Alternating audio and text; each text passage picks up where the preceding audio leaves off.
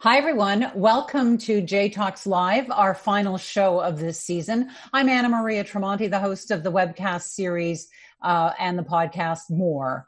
Today, we are discussing the US with all of its polarized politics, the pandemics, the protests over race related police brutality, and an upcoming presidential election. And at the helm of it all, of course, Donald Trump.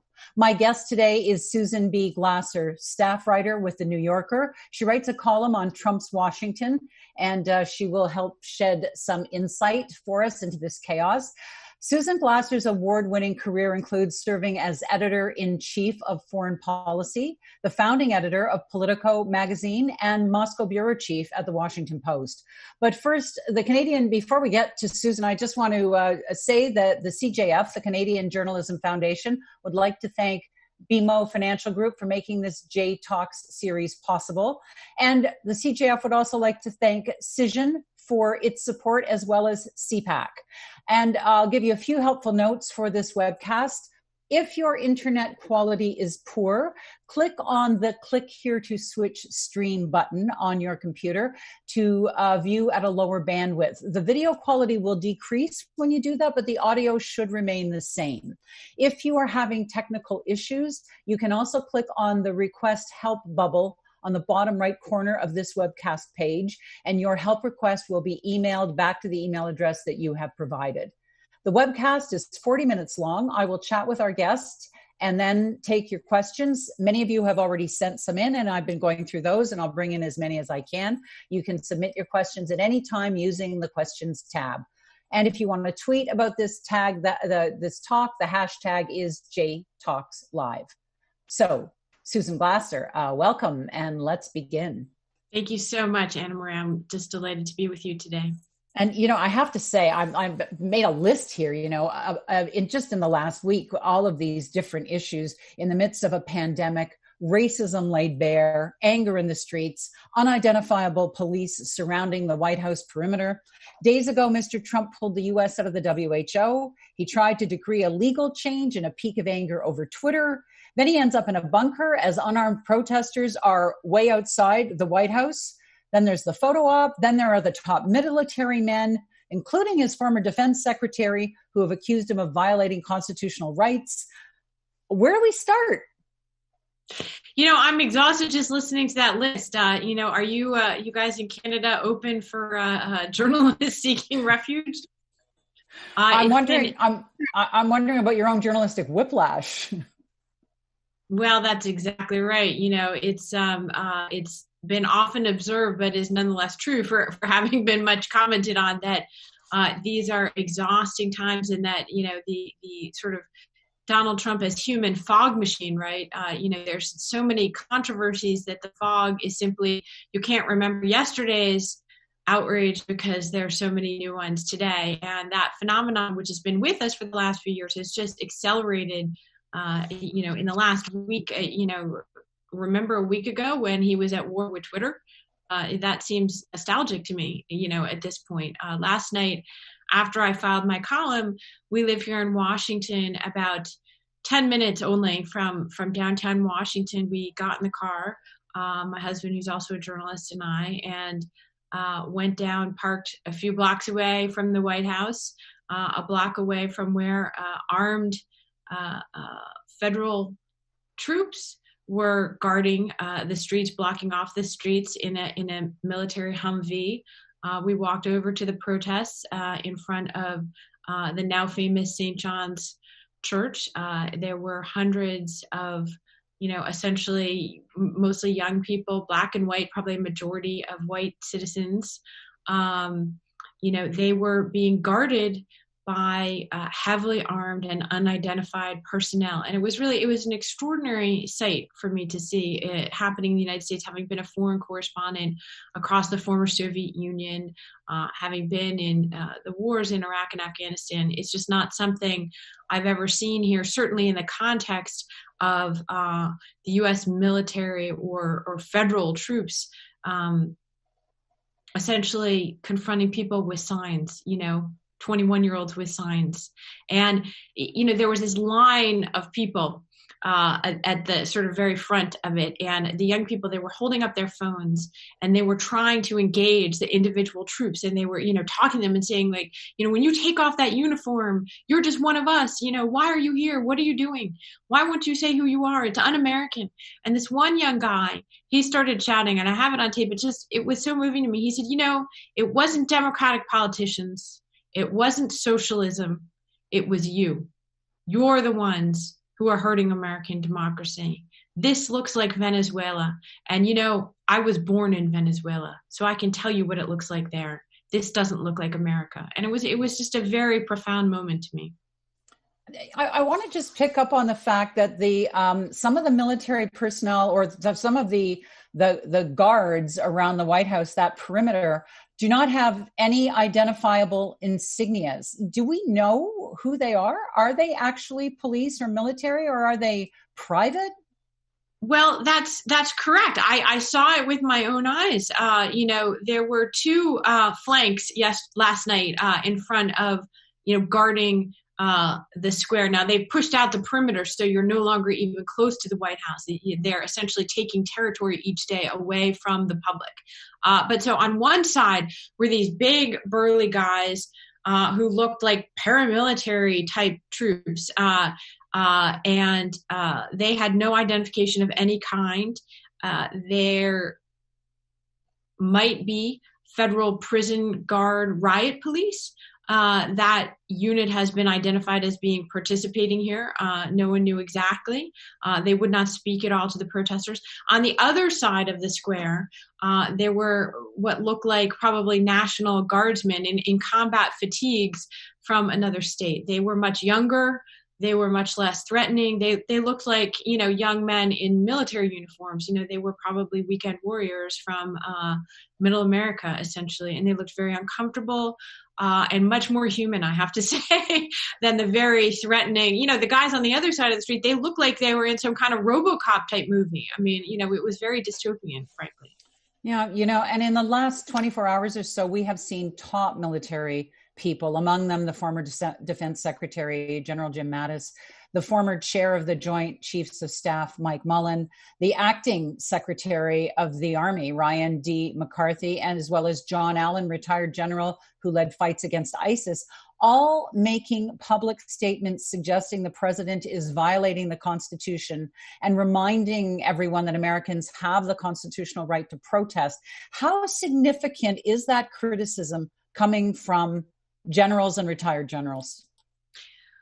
Well, uh, you know, I can give you two answers. The answer, uh, you know, in your heart is that you want it to be extremely significant. Uh, these are men who have spent decades in service to their country, who uh, have served uh, uh, in a completely nonpartisan way. Uh, presidents of both parties, administrations of both parties, who swear their oaths to the Constitution and not to any individual. They are. I, I, know all of the men uh, that you mentioned, with the exception of the acting secretary of the army. I've met all of the others. Uh, I believe them all to be deeply patriotic and, and to disagree with each other. By the way, John Allen came out in the 2016 campaign, uh, already a retired general at this time, and endorsed Hillary Clinton, and uh, actually had a big rift with Jim Mattis, who uh, was a very close friend of his and who told him it was the wrong thing to do, uh, and believed that fundamentally uh, that was risking the independence of the military for even a retired general of the stature of John Allen to speak out. So the fact that they're now both on the same side is something very significant and remarkable. However, uh, the flip side is uh, Donald Trump, as you know, has succeeded in part uh, in exposing uh, the uh, hollowness of our institutions and the lack of uh, leadership in the country anymore that has a followership. and so I think it also plays right into his narrative that the elites are against me, whether they're the military elites or the business elites or uh, the media elite. So uh, it doesn't necessarily harm him politically in the way you might think. But but again, it, it's a grave moment, uh, and I think people are are considering it to be a very grave moment here. And I should just uh, correct myself when I said acting secretary. Um, Ryan D. McCarthy is the secretary of the army. I meant acting in the sense that he's not retired; he's uh, actively Serving, in current. that role. Yeah, current, the current. Um, so uh, uh, there had been some speculation that this is one area that Mr. Trump might actually feel um, a little bit of a, you know, a, a, a little bit he would feel that that kind of criticism in a way he hasn't felt the other criticism but but you're suggesting maybe not.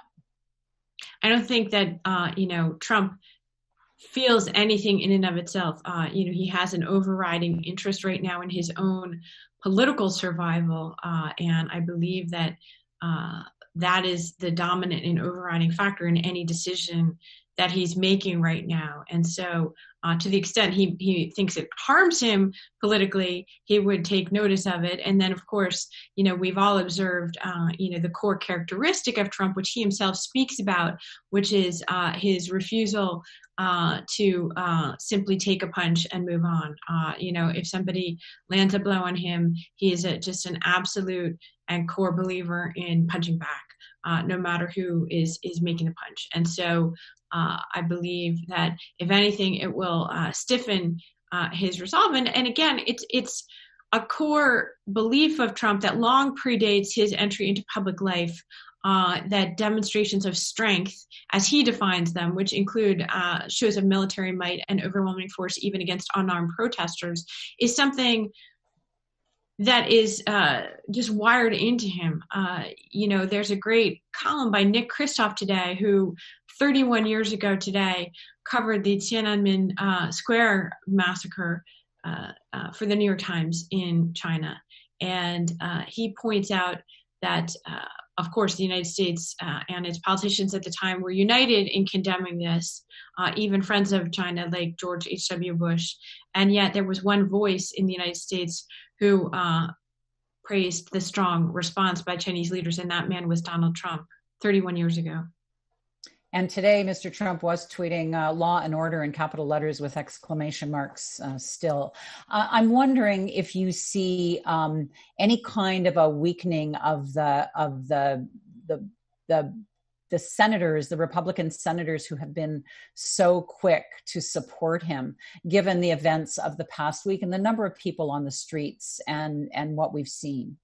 So uh, you know, the overriding story of uh, the Trump era here in Washington is, in fact, uh, the his successful takeover of the Republican Party, in particular, the Republican elected officials on Capitol Hill, uh, in the Senate, as well as the House of Representatives, and of course, these same senators uh, spoke with a unanimous voice just a few months ago in uh, voting to acquit Donald Trump in the Senate trial, with the lone exception of Mitt Romney. However, this morning, uh, you had a very interesting comment from Lisa Murkowski of Alaska, who was one of the senators who was seen as on the fence in that Senate impeachment trial. She ultimately voted not only not to have any witnesses in that trial, uh, uh, making it questionable as to what kind of a trial it was, but uh, also voted to acquit Trump this morning. She said, Well, General Mattis spoke for me, and he really aired uh, concerns that uh, I think we all have to share and take seriously. And, you know, strongly suggested she was considering uh, coming out against Trump's reelection and uh, basically endorsing this remarkable comments from General Mattis of yesterday, in which he essentially compared Donald Trump, the man he served as defense secretary, uh, with the Nazis and said it was un American what he had done on Monday night. So that was a remarkable statement by Lisa Murkowski. We'll see uh, if she follows through. A few other, a very small number of other Republican senators have uh, questioned it, but again, you know, the story is, uh, I would say, the acquiescence of the whole much more so than it is the dissent of a small handful, at least for now. They've made their political bet, uh, and uh, you know it, it, it may not be paying off for them but it would be very very hard for them to switch gears at this point unless they felt their own existential threat uh, survival was at, at stake. You know you've described the president as a super spreader of distraction and you've labeled some of what he's been doing and saying and tweeting as his own operation obfuscation. How much of what we're seeing now is part of that deliberate effort to keep diverting attention or to confuse? Well, it's very interesting, right? You know, for the last uh, two and a half, three months, uh, you know, Donald Trump has wanted to change the subject desperately uh, from the coronavirus pandemic and his own botched handling of it, right? And he, uh, of course, you know, denied uh, that it was coming to the United States. Then he said it was going to go to zero. Then he said it was going to go away uh, uh, in the warm weather. Then he said there would only be a few people who would uh, die of it. And then he said, never mind, let's just reopen. And so he has been really eager to change the subject and to create other controversies. Um, I'm not sure that uh, a massive uh, national protest movement uh, against racial violence was uh, the distraction he had in mind. And what I've been struck by actually just the last couple days, it's, it's early yet, but if you look at some of the early polls, his remarks, uh, even from Republicans, on handling race relations are even worse than they were on the coronavirus. So this might be the one distraction, uh, you know, that is even more politically damaging to him uh, than the other distractions he threw up. So I, I'm not sure this is what he had in mind, frankly. Yeah, and we've noticed that he said so very little about um, the whole issue of race and what is really playing out on the streets and what that is emblematic of. Um, he made a comment, uh, what was it, two days ago? I can't remember. Everything happened so fast, but that MAGA loves Black people. Um, uh, he said almost nothing to the the kind of pain that we are seeing um, you know in the manifestations of, of these protests um, talk to me a little bit about how that you know how how you're reading that how you're watching that well, look, again, to draw the through line from the pandemic to uh, the sort of political unrest that we're seeing right now in the United States, uh, you know, empathy is just not part of brand Trump. Uh, it's not who he is uh, as a person, and it, you're never going to hear it from him. Whether it's about 100,000 Americans dying in a short period of time, or uh, it's about uh, the agony of police brutality and and unjust racism in America. It's just not who he is and you're never going to hear that. And if you did it wouldn't be genuine. And he he he understands that on some level. So part of it is his own calculation and understanding that if worried to say that. But uh it's it's even more than that uh, it, that Donald Trump uh, has continually uh, both inflamed racial tensions in the United States and actually profited from them. Uh, you know, remember that uh, you know that's the original sin uh, of the Trump political persona was him essentially making racial racially tinged comments about Barack Obama and you know suggesting that Barack Obama was not born in the United States, uh, which is essentially a racist conspiracy theory that he and others advanced with obviously no basis in fact. And that is the entire basis of his public persona and political appeal. So Donald Trump isn't going to abandon the racism that got him into the White House, number one. Number and one. we have we have seen him obsessed with Barack Obama for Correct. quite a well, while now. Um, what's so remarkable for a man who is, you know, has that at the core of his political identity. Uh, just yesterday, he tweeted from the White House while surrounded by these and protected by these unarmed, by these massively armed federal troops. He tweeted from the White House that he has done more for African Americans than any president in U.S. history, with the possible exception of Abraham Lincoln. That's a direct quote. So, is he completely delusional, or does he think this uh, boosters that this boosts him among a certain uh, demographic of supporters.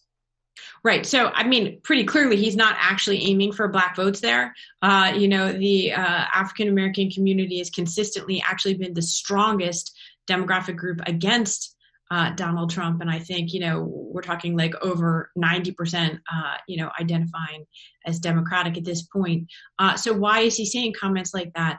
Uh, Donald Trump has a terrible problem with suburban white voters, uh, in particular suburban white women voters, and he will not win re-election, uh, even with our electoral map. of the states favoring Republicans, he will not win re-election unless he can keep enough of those white suburban voters who uh, don't consider themselves to be racist and you know aren't particularly uh, desiring of having a president, even of their own party, uh, who is so explicitly identified as one. So I believe that you know those comments uh, throughout his presidency, actually, about African Americans are aimed uh, probably at a certain segment of white voters uh, and trying to persuade them that it's okay to, to vote for him. And you actually, um, in a in a in a big feature in the New Yorker, actually followed a never Trumper Republican who um, a woman who's been really trying to parse some of that and really pull out those votes that that were Trump that that can be shifted. Um, kind of making the point that you don't need all Trump supporters to shift. You just need some very uh, you need some laser focus, or they they believe they need some laser focus to shift that the those votes. Well, that's right. It's very interesting. So, uh, you know, that's uh, one theory of the case, right? That Donald Trump, uh, remember, he won election in 2016 in a big upset where he actually lost the American popular vote, uh, but he won uh, the Electoral College because of just three states Pennsylvania, Michigan, and Wisconsin. Uh, and these are essentially industrial uh, Rust Belt states of the you know Midwest, or uh, and uh, where a certain number of moderate suburban Republican votes were, were essentially the key to the outcome. And so uh, this piece that I wrote was looking at uh, a, a, lifetime Republican strategist and activist who is very anti-Trump and you know mostly has experienced the last few years as a series of almost horrifying out of body experiences where she's losing and losing and losing and realizing that the people that she worked with and was friends with uh, for years were not who she thought and have one by one made accommodations to Trump, and and that's what people do, uh, you know, in Washington or in any capital city in in Canada as well. Uh, they make accommodation to power, uh, and yet realizing that voters uh, uh, uh, didn't necessarily make those same calculations. And uh, she's been doing intensive focus groups with uh, mostly women who identify as Republicans who admit that they were Trump voters in 2016, but are varying degrees of uncertain. And I listened in on those. And, you know, what I found is that they really, really don't like Donald Trump, but they weren't very interested in the Democratic Party either. And so, you know, that made them an up for grabs group of people. How do you interpret uh, Joe Biden's message um, this and in the last couple of days as well? Well, I think again, you know, you would think that uh, Donald Trump has offered more material for any politician to, to work with uh, than one could possibly imagine. I do think that, uh, you know, Biden and his team seem to understand and seem to have a clear theory of the case that as long as the election is a referendum on Donald Trump and his incumbency, uh, they're likely to win. Uh, if Trump succeeds in changing the subject or making it more about Biden, uh, it would be more competitive. Uh, so you know, essentially Biden has has tried to remain focused on, uh, you know, he's a healer, he's a uniter, not a divider. This is not the America we live in. Uh, uh, you know, it's a choice that America faces, America or Trump, and you know, those are that's the message right now. It's very pretty clear.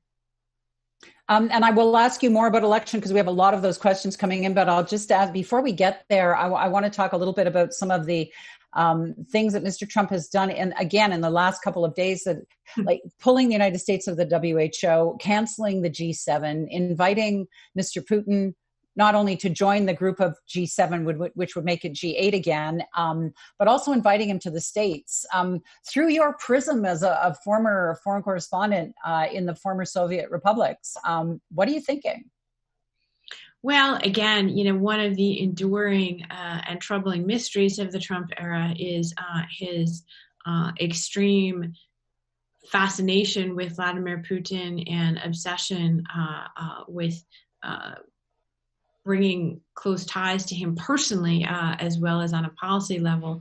It's something that is essentially not supported by American leaders, politicians of either party, Republicans as well as Democrats, uh, you know, pretty much disagree with Donald Trump about this, and yet he has uh, what what seems to be almost a personal fascination with uh, Vladimir Putin. And again, the through line of many of the controversies of the Trump era go back to Vladimir Putin, uh, Trump's insistence back in the campaign in 2016 of uh, talking, praising Putin, uh, contrasting his leadership favorably with that of Barack Obama, insisting that he would consider rolling back sanctions, which uh, is uh, an issue uh, uh, that was what was discussed in the controversial phone call between uh, Trump's former national security advisor Michael Flynn and um, the former Russian ambassador to the United States. The, the call that led to Flynn's firing uh, led him to plead guilty and now is somehow been reinvented by Trump as an example of his of Flynn's persecution.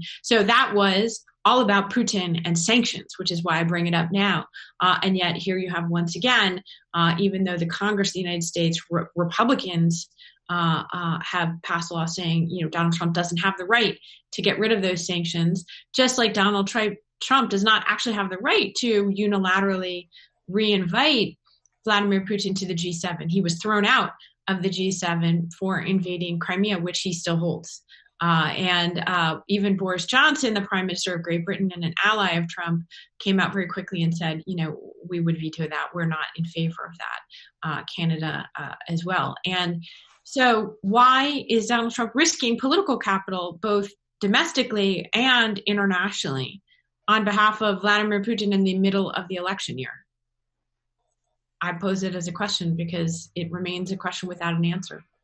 It's almost as if, um, you know, I mean, as we watch Mr. Trump and the many things he has said and how he conducts himself, it's almost as if there is even more of a spiral happening right now. I don't I don't know if I'm right about that that that um th- that he he seems to be almost like staggering from pillar to post in in how he's approaching everything.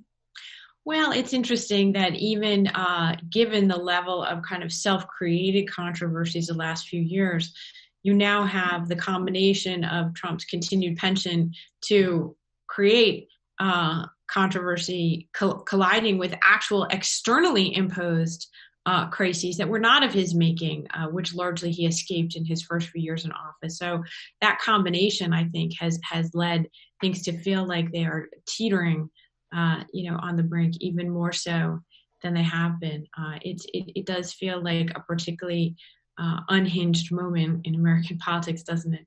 Mm, what, what did you call it? It's a mix of the menacing and the absurd. Well, there is that too. Yes, uh, yeah. you know, if you go back and read, you know, the the great uh, literature of you know Eastern Europe uh, during Soviet domination, or you know other people living through moments of uh, dictatorship and tyranny, uh, you forget that a lot of the great narratives there are about the absurdity uh, uh, and ridiculousness of uh, strongmen as well as their uh, menacing and uh, you know that's just a quality that that Trump has in spades. He's he's a pretty absurdist character. Mm. I, I want to go to some of the questions. Uh, there's a question from Jim Brody who asks, uh, "What is Trump's kryptonite? What types of stories will finally shock his base into seeing him for who he is and who they've enabled?" Well, so those are almost two different questions. It's a great question. One is what's his personal kryptonite, and then the other is what would actually uh, uh, harm him uh, with his political base and cause these followers of his to, to break away. Uh, I think on the personal level, one is easier to answer. Um, Trump clearly, uh, you know, has a lot of issues, as they say. And in a way, we've all become armchair Trumpologists or, you know, shrinks in the last few years as he seems to be sort of inflicting his own personal uh, drama and troubles on on the nation and the world writ large. Uh, who knows what's really inside that head? But one thing that does trigger Donald Trump uh, is uh, personal criticism uh, that gets to you know him and his father. clearly, his father was a dominant personality who shaped him in some what appears to be highly negative way. Uh, and so, uh, you know, certainly I've talked to those who have made it their mission to get inside Trump's head, and they they think uh, that the key is to um, uh, talk about his daddy issues uh, and to raise uh, his the disapproval of his father at every turn on a personal level. Um, he just, in general, cannot handle uh, a certain kind of criticism. It, it makes him uh, absolutely lash out in ways that, that tend to be not to his own benefit. Um, as far as his followers, what's remarkable uh, is that even though you may be reading a lot of coverage right now about how Trump is losing in the polls and you know Biden has had a pretty consistent lead and now that seems to be opening up even a little bit I would say read those with a caveat the caveat is this essentially he still has a poll I just looked at this morning about a 40% national approval rating that's exactly the same approval rating that he had in January before the pandemic before the greatest economic collapse since the Great Depression, before national protests that have resulted in the biggest wave of violence since 1968. So nothing will shake these people. There's almost nothing, it appears, uh, that Donald Trump can't do and have almost 40% of the American public still approving of him. And of course that speaks to the fact that there is no clear um, there's there's you know anyone who thinks the democrats have a cakewalk it's just not true um, in the coming election. But given the way things are going is it even a certainty that the november elections will proceed? Well this is a good question uh, and it's a question that many Americans, uh, you know, have started to get jittery and, and wonder about. It, Actually, Time Magazine recently asked Jared Kushner, the president's son-in-law, who also works in the White House, this question, and he said, uh, "Well, there's nothing that we're considering at this time uh, that would change that date." Now, I would just remind listeners that the Constitution of the United States prescribes uh, the date, time, and manner of the general election in this country. Uh, and I believe that that is an unwavering uh, date. Now, what are the conditions under which we're going to be voting? Those vary widely from state and locality. Uh, it is under the control of different state officials.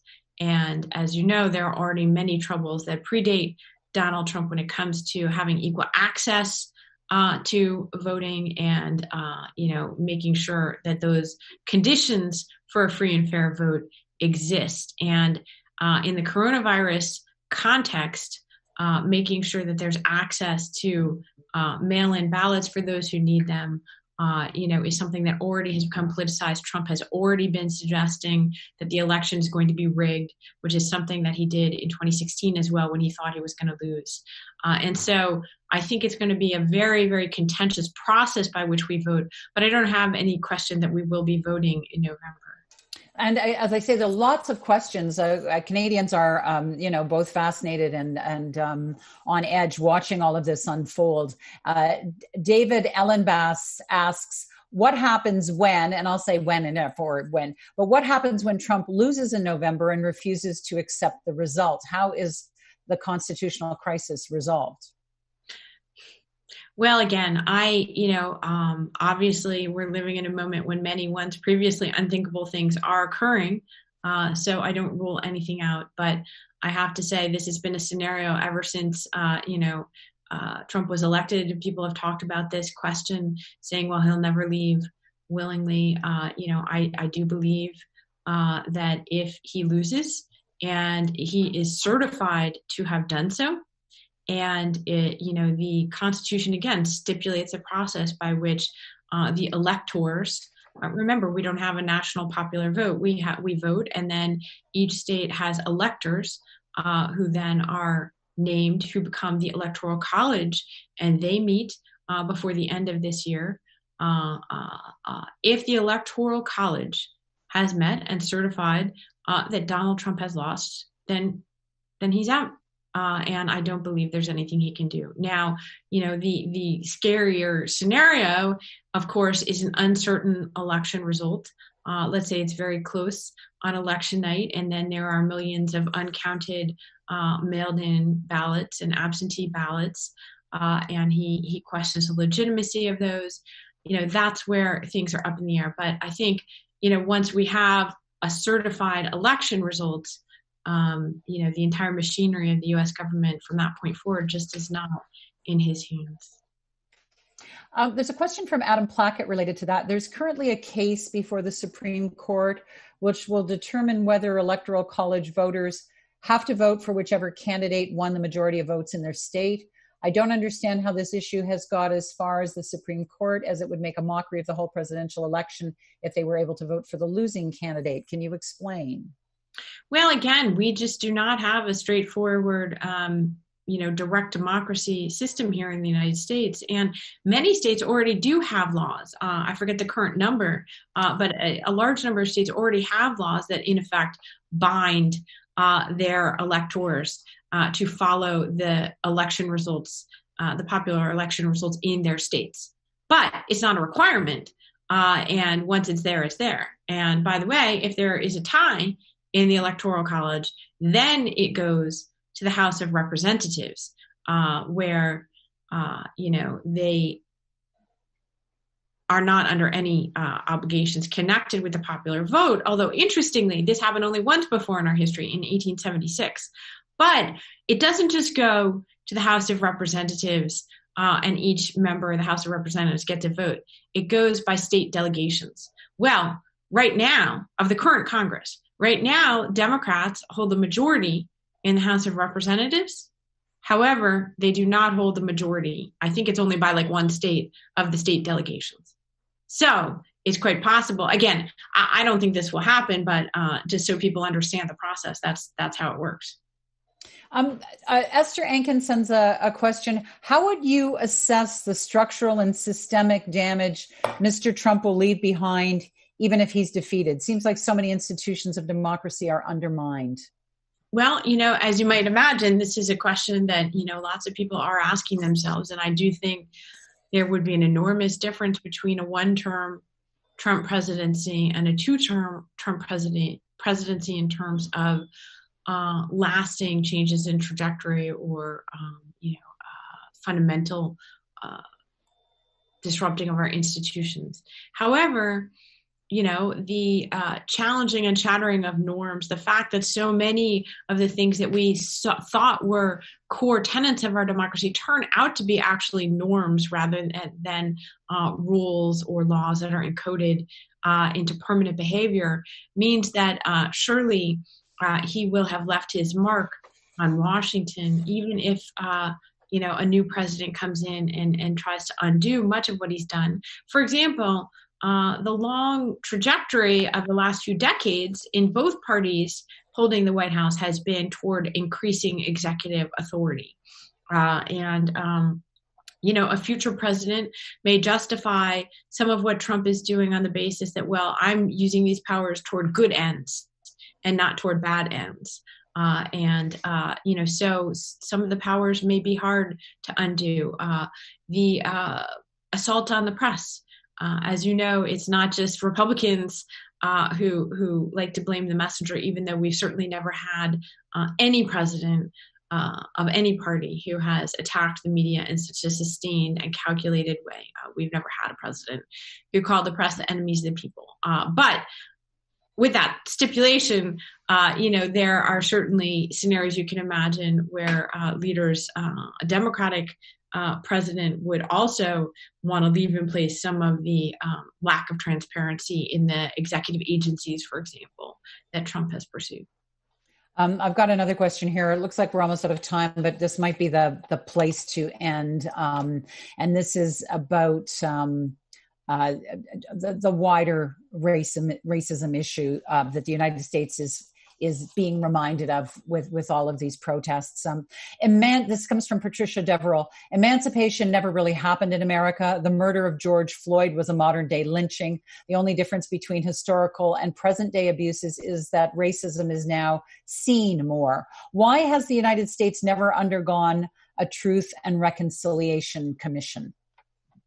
Well, you know, it is is it's a powerful question and it's it's a powerful and sad moment of reckoning uh, in the country. You know, Barack Obama uh, gave a very interesting address yesterday uh, uh, talking about some of these issues, and he made the argument that there is something different that unlike uh, the protests in the 1960s, uh, that this is a much more broad based and diverse movement supporting Black people in America today.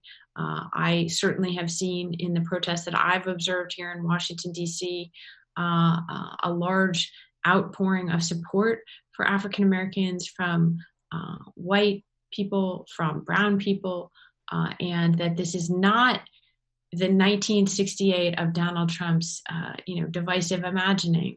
you know, in many ways, our cities have changed.